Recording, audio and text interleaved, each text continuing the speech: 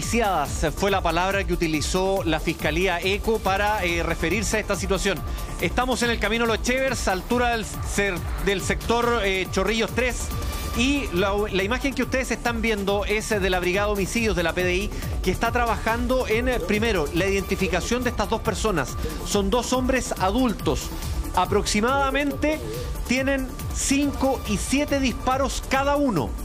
Pero además de eso, según informó la Fiscalía, habría aproximadamente evidencia balística de 15 disparos más en el lugar. ¿Por qué te digo que la Fiscalía nos informó que se trataría de un ajusticiamiento? Porque eventualmente, y según lo que ha podido recabar hasta ahora la Fiscalía, las víctimas habrían sido traídas hasta este lugar. Las habrían traído hasta acá y acá las habrían asesinado. ¿Qué es lo que escuchan los vecinos del sector? Eh, ráfagas de disparo de arma automática y posterior a ello, silencio, ni vehículo, nada más. Está en este lugar trabajando la Policía de Investigaciones para tener más antecedentes, eh, pero claro, por lo que ustedes logran apreciar, me imagino por la imagen, estamos bien lejos del lugar. Esto es aproximadamente a unos 200 metros del camino Los Chevers y es ahí donde está trabajando ahora la Policía de Investigaciones, en este caso que todo apunta, según lo que informó la Fiscalía ECO, a que se trataría de un ajusticiamiento con armas automáticas en contra de estas dos personas que todavía no están identificadas. Solo se sabe que son de eh, sexo masculino y adultos. Esa es la información que hay hasta el momento, Julio. Luchito, eh, llama la atención, ¿por qué más balas? ¿Por qué, ¿Por qué aparte de estos balazos a estas personas, ¿no es cierto?, habría más casquillos? Mira, a mí también me llamó la atención ese mismo hecho. Eh, si es que estas personas las trajeron acá eh, para asesinarlas, si es que para mí era muy clave preguntar, no, no, alcancé a preguntarle a la fiscalía si es que los disparos fueron realizados a corta distancia. ¿Por qué? Porque cuando es a corta distancia ahí, el tema del ajusticiamiento tú lo tienes muy establecido. Claro. Eh, pero si hay más disparos en el lugar, es muy posible que estos disparos no hayan sido realizados a corta distancia y sí a larga distancia, que quizás estas personas hayan bajado, hayan tratado de correr y ahí les dispararon y después los rematan. Ese podría ser una teoría. Eh, porque a mí también me hace mucho ruido esa situación que aparte de los impactos de bala que ellos tienen, que no son pocos, 5 y 7 aproximadamente, encuentres evidencias de más disparos. Claro, y bueno, eh, eh, se nos suma Roberto, ah, ya llegó Roberto Cox acá al estudio. Es importante lo que dice Lucho porque ahí podríamos estar verificando, ¿no es cierto?, si estos tipos llegaron, ¿no es cierto?, con los asesinos al lugar. O sea, si los asesinos los traían, los dejaron ahí, los ajusticiaron, o si venían escapando de estas personas y ahí trataron de arrancar y fueron encontrados por los asesinos finalmente, Lucho. Claro, eh, a mí también me llama mucho la atención eso eh, y por eso te decía que es tan importante saber si es que los disparos fueron realizados a corta distancia o no. Eh, la información que mantenemos hasta ahora es que todo apunta a que se trataría de armas automáticas por lo que escucharon los vecinos. Ahora, cuando te hablo de vecinos, Julio, estamos hablando y le voy a pedir a Diego si puede abrir un poquito el plano para mostrar la cercanía que pueda haber de personas que habiten acá. Por ejemplo, lo más cerca que tenemos a la izquierda de la pantalla Estamos hablando cerca de 500 metros aproximadamente. Eh, y hacia el otro lado tienes poco más, yo creo que ahí ya tienes mil metros, una cosa así. Entonces, eh, esa es como la primera declaración, que es que pueden tener, comillas, vecinos del lugar, porque estamos en un lugar que ni siquiera semiagrícola, acá ya es agrícola. Eh, de hecho, hay plantaciones, creo que son, parece que son papas o hortalizas, tengo la duda, pero tienes plantaciones acá en este lugar. Entonces, la declaración que te entreguen los vecinos puede ser clave referente a cómo escucharon ellos los disparos. Eh, pero sobre la dinámica de los hechos es muy difícil establecerla hasta ahora y en esta primera instancia que es la que está trabajando la policía, pero eh, el tema si es que los disparos fueron a corta o a larga distancia va a ser clave para entender la dinámica de cómo ocurrieron los hechos. Sí, esta mañana, Lucho, escuchábamos eh, a la fiscal decir que los disparos fueron hechos en la cabeza y otra cosa que me llamaba la atención es que efectivamente se trata de adultos, pero muy jóvenes, de 20 años. Eh, y que fueron, como decías recién Lucho, puestos en el camino. Es decir, cuando fue este funcionario municipal eh, pasando por ahí, los vio de inmediato, no hubo ningún intento de ocultarlo. De ocultarlo, mira. Atrás se ven las casas más cercanas, yo creo, ¿ah? Atrás, donde iba pasando un camión recién atrás, yo creo que es el sector más cercano. Justo está en el tiro de cámara Lucho y da la espalda. Vamos a escuchar a la fiscal que dijo, vamos a escuchar eh, sus declaraciones. Bueno, como les señalaba, se informó que hay dos personas eh, allá fallecidas, tienen diversos impactos balísticos cada uno. Eh, tiene cuenta de ser una ejecución, sobre todo por eh, los impactos balísticos en la cabeza.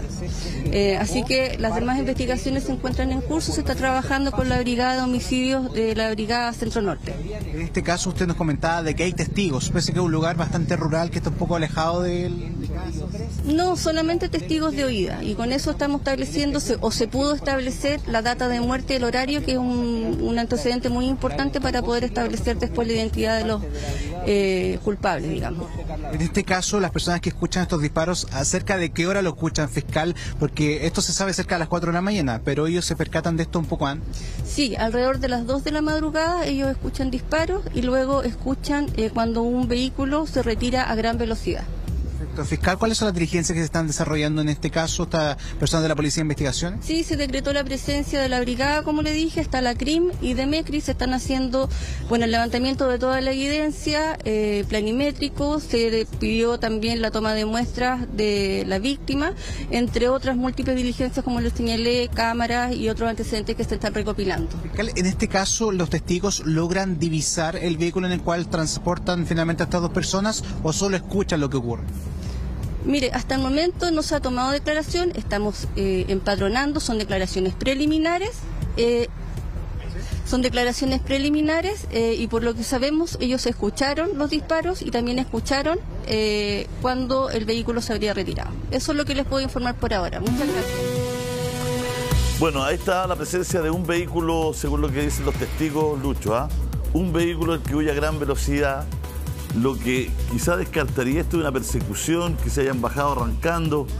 Al parecer venían con estas personas, mucho por eso no se entiende mucho que haya más balas, ¿no? Pero bueno, la investigación arrojará eh, por qué ocurre esta situación o por qué se está eh, en primera instancia pensando, ¿no es cierto?, en que hubo más balazos de los que tenían estas personas en el cuerpo. Quizá en algún minuto trataron de arrancar, de escapar, eh, Lucho. Quizá esa pueda ser la explicación.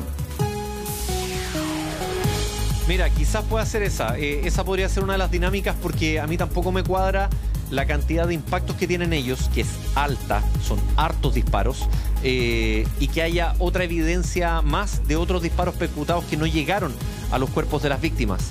Sobre el lugar, mira, estoy tratando de no movernos mucho eh, porque la señal no es muy buena. Entonces, si Diego nos muestra hacia la izquierda y si se pueden agachar ustedes un poquito, muchachos, se lo agradecería, porque por ese sector donde están los palets, ahí hay una especie de oreja en el camino. Por ahí. Eh, si tú vienes desde los Chevers, eh, pasas por ese lugar, puedes ingresar por ahí y desde ahí, que ahora está lógicamente suspendido por el, eh, trabajo de, la PDI en el lugar y que estuvo previamente Carabineros. Y ese es el recorrido, que esto me aparece Castillo, que habrían realizado ellos hasta llegar al lugar donde fueron encontrados fallecidos. Entonces es un lugar que tenía ese acceso para poder llegar ahí eh, y que lógicamente ahí fueron dejados finalmente por las víctimas, por los homicidas y no sabemos si es que eh, finalmente ellos tratan de bajar y ahí tratan de escapar.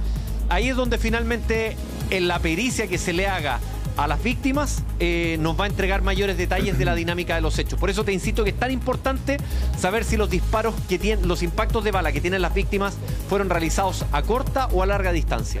No se sabe absolutamente nada de las víctimas. Nos hablaban de dos hombres adultos de aproximadamente 20 años, pero estaban sin sus documentos. sí, no se sabe absolutamente nada más, ¿no?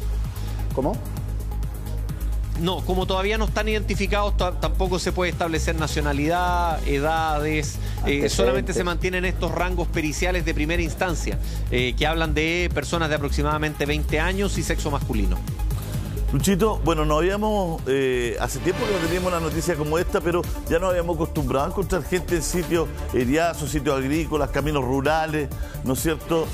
precisamente en lo que se conoce como la región metropolitana rural, ¿no? La región metropolitana, ¿no es cierto?, eh, no solamente comprende las comunas que dan cuerpo, ¿no es cierto?, a, este gran Santiago, sino que también tiene una vasta cantidad de comunas en el sector más rural. Eh, y ya nos habíamos acostumbrado precisamente en ese sector, eh, Luchito, a, encontrar cuerpos, en canales, al costado de la vía. En canales, eh, en, lugares de en, zonas de regadío, en zonas agrícolas. Sitios privados.